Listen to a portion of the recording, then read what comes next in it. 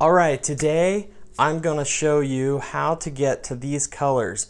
I've had a lot of people ask me, oh, I love these colors. When I painted these, I didn't uh, record it. So I'm gonna show you all how to get to these colors. And then I ordered some high gloss Liquitex. Um, instead of just the gloss varnish, I ordered some high gloss. I was gonna do some coats with that for the first time on camera and see how that goes. So let's get started.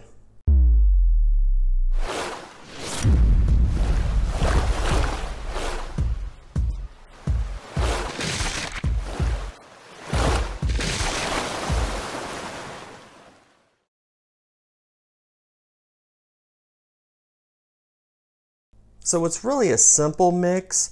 I'm going to use some Liquitex pouring medium. I know I took an old glue container. I put the pouring medium in here because it came in a gallon bucket and there's no way I could have taken a gallon bucket and put it into these cups. Let's get started.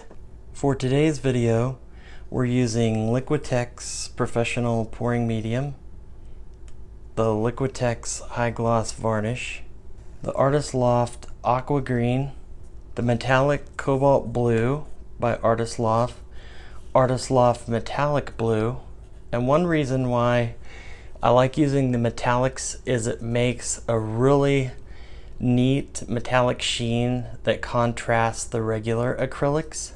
And then Liquitex Magenta, and then Artist Loft Cerulean Blue, and Artist Loft Flow Acrylic White.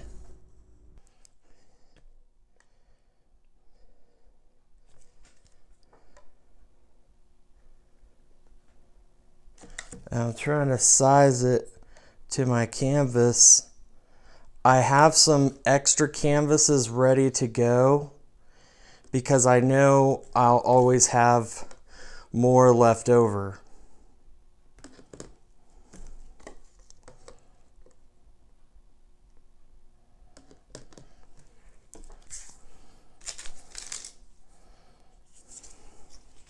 You can see here.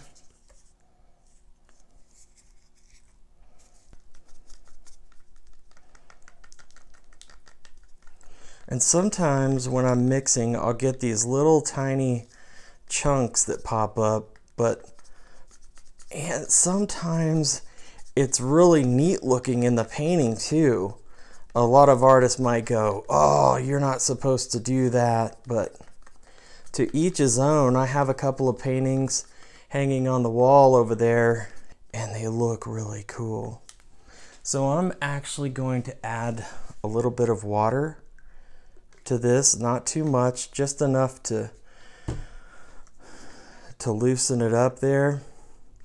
Just because the Liquitex uh, pouring medium is so thick. I talked to my art guy, Nick, and he said that you can add a little bit of water, but you don't want to add too much because it will actually break down the properties of the pouring medium but he said you can add a little bit. So there you go. Expert advice.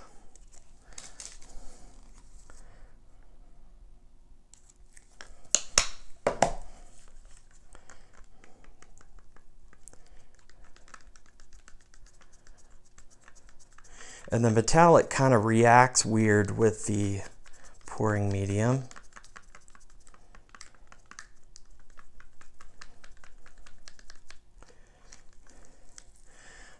I don't know if you can tell or not, there's like little bitty fine specks in there.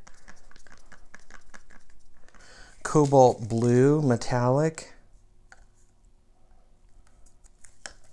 And I'm sure this will be more than enough paint. It takes a lot of paint to do these. And yes, there is a lot of waste but I try to cut down the waste as much as possible.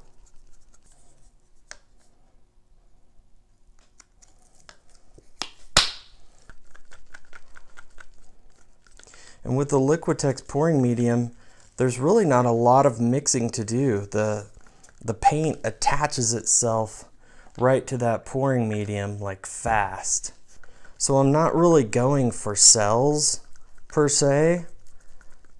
I'm just going for the look and the color contrast, those bold colors that pop.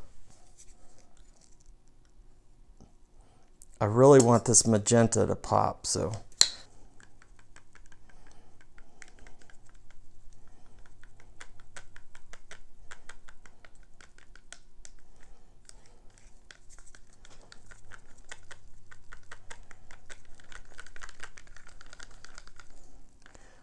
Oh, that's pretty. Look at that deep color.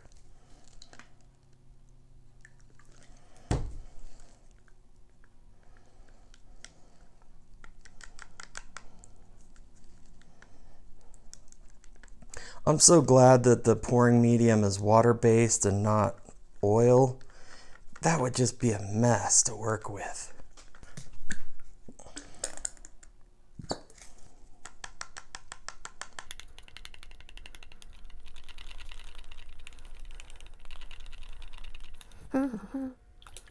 Humming, mixing, humming, mixing. So I'm going to start out with the magenta and I'm going to pour it diagonal right across there, just like that. Just like that. And then a little bit over here, just like that. A little bit there.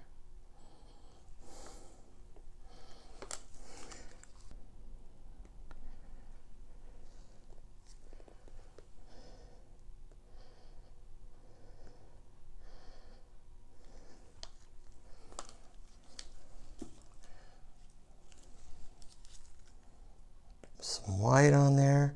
Whoa, whoa. Slow down there, Captain.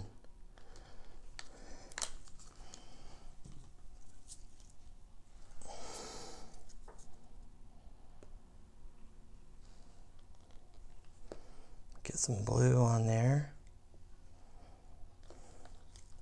I can tell this is a lot thinner.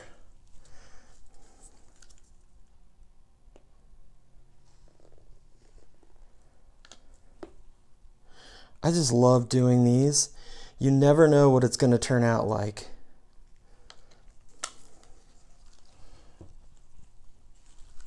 You just never know. That's why you got to try it. Got to try it.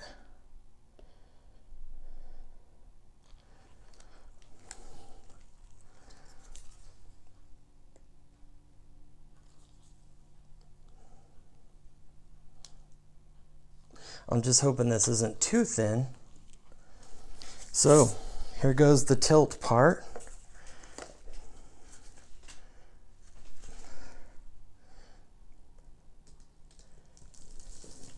Let's get this out here. Come on, baby.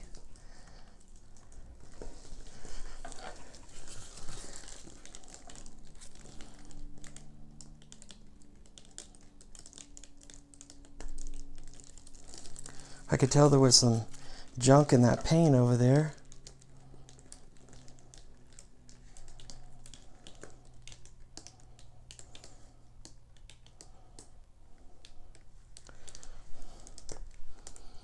Oh, that's a lot of waste. Come on. Get on there. Oh, I can't do it.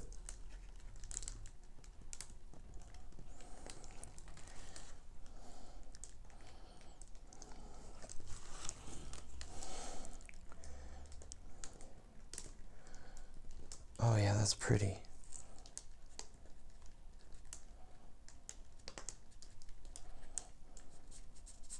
Okay, now let's tilt it back the other way.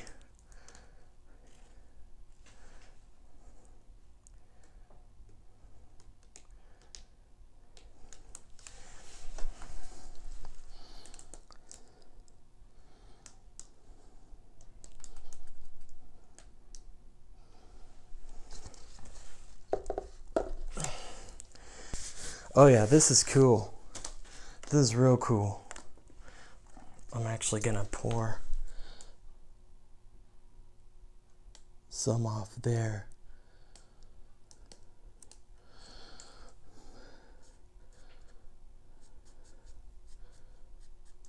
Get some off the edge there. I don't know if thinning it out that thin was for the better or for the worse. Love those colors. That is not what I expected it to turn out like though. I was expecting more bolder lines coming across like this one. This one I didn't thin it down. I'm gonna leave it just like it is. All right, I'm gonna show you while it's wet this angle too. See what I'm saying about the little bitty paint chunks? How they make some really cool designs in there. And they lay out flat, so no need to worry about that. So here's all three that I poured. I couldn't show the others because it was just whew, too much.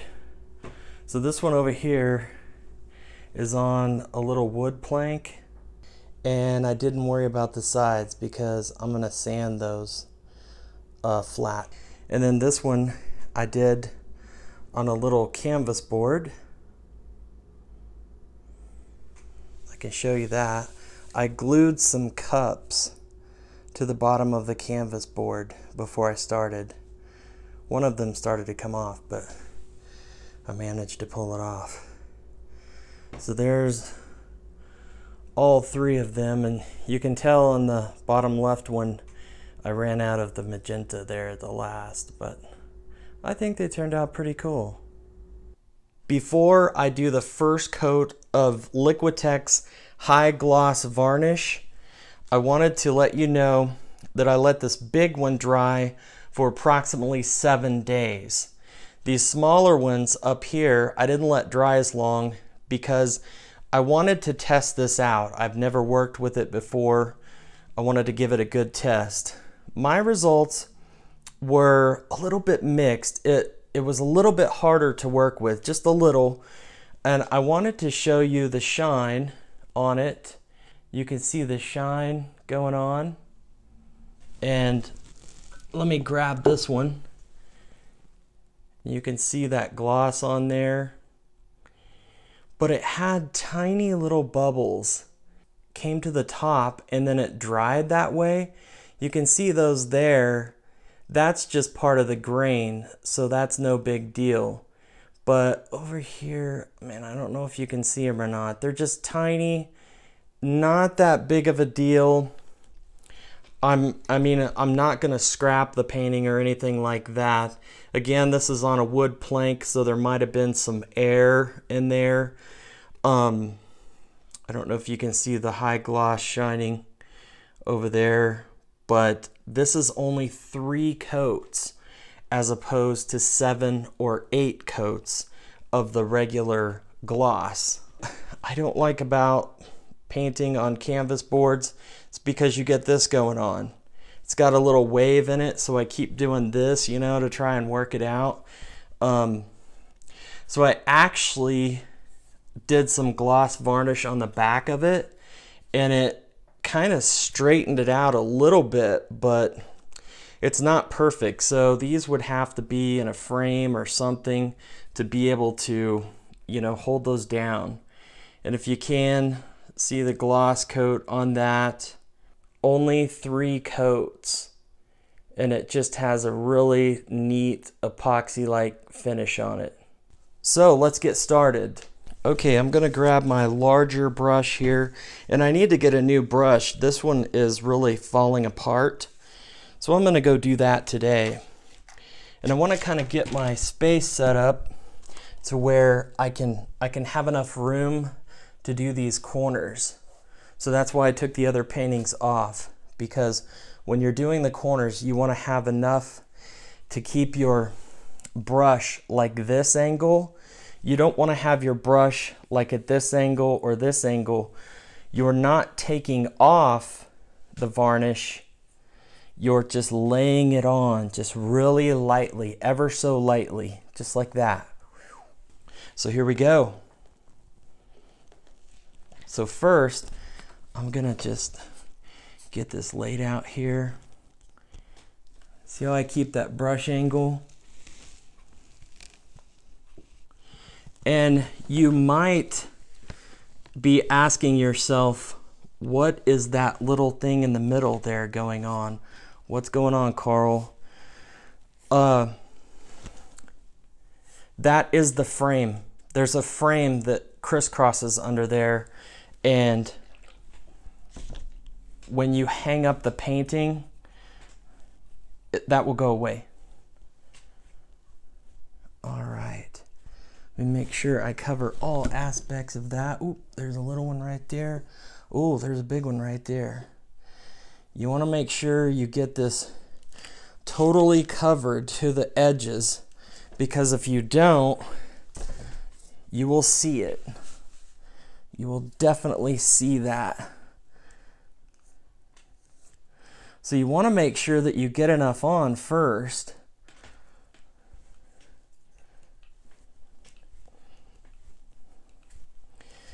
And you, these bubbles are popping up because it's starting to soak into the canvas. But that is one thing that I found different from the regular gloss is that the high gloss likes to bubble a lot more. You want to just lay that out. Just lay that out. You don't want to overbrush, but on this size of painting, all right, then you want to get down and you want to scan across there to make sure you get every little corner just right.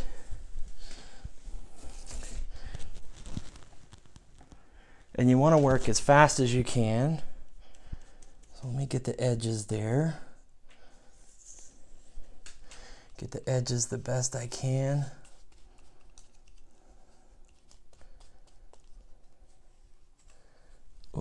I that over there just a hair. Darn it.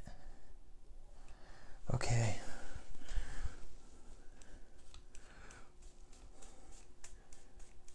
And you don't have to worry about the edges as much as you do the main canvas, of course.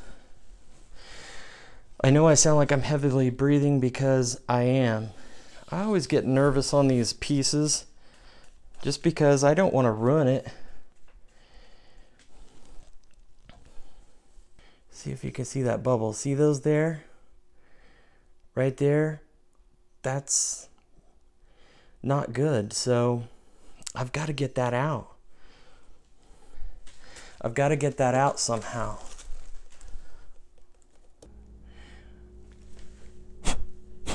You can come over and lightly blow on it.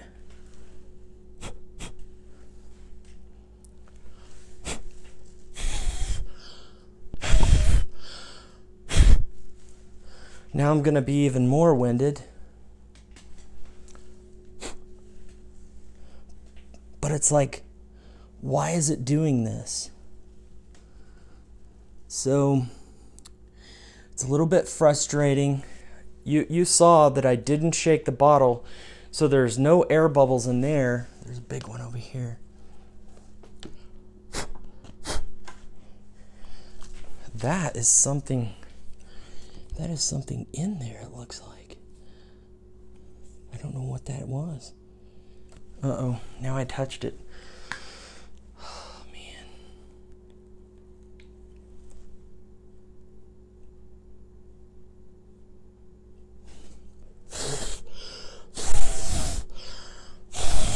And I'm sure I'll get some of my hair in there. So that does help. Blowing on it does help. But do you really want to do that if you're doing a big piece?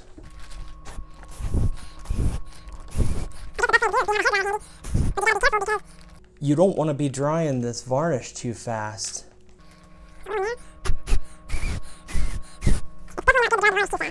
So, I don't know. You have the little bubbles that pop up. That's just my input on using the high gloss. So let's let this dry and I'll come back for coat number two. Looks like everything dried out real nice. I let this dry for two hours. Looks like those little bubbles uh, tamed down a bit. So let's try the second coat.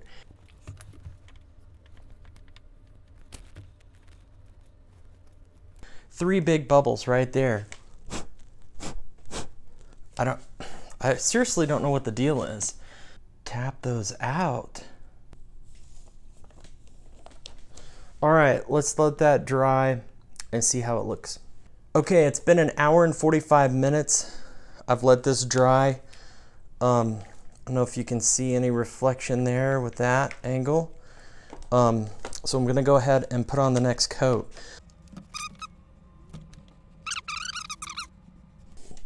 So it looks like I'm gonna have to blow on this thing every time.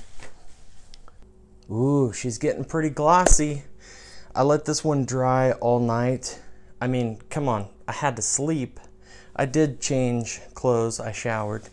So let's go ahead and get another coat on there.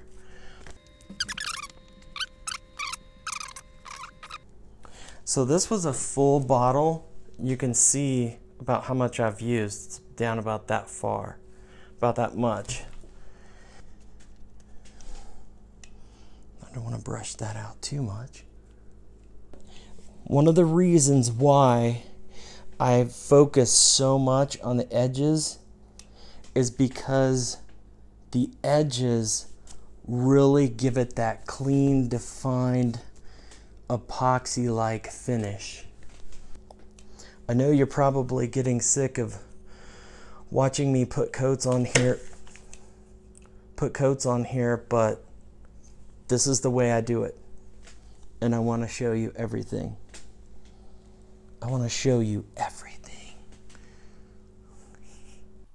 So in the last coat, I think I got a bit much on. I'm showing you this with the reflection in the background so you can see.